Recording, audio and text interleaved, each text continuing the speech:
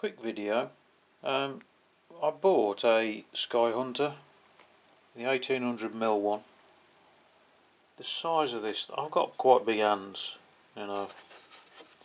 The size of this thing you just would not believe. I really can't. It's absolutely massive.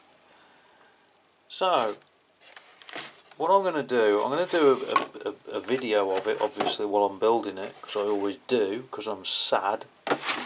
Um, but what I was wondering was how much detail to actually go in. Do I um, do an overview of parts that I've done like everyone else does or do I do a complete video start to finish every single move that I do or what? I really don't know. Carbon bits. We like carbon. It's not a fetish. So, drop a comment below um, of exactly what you want me to do.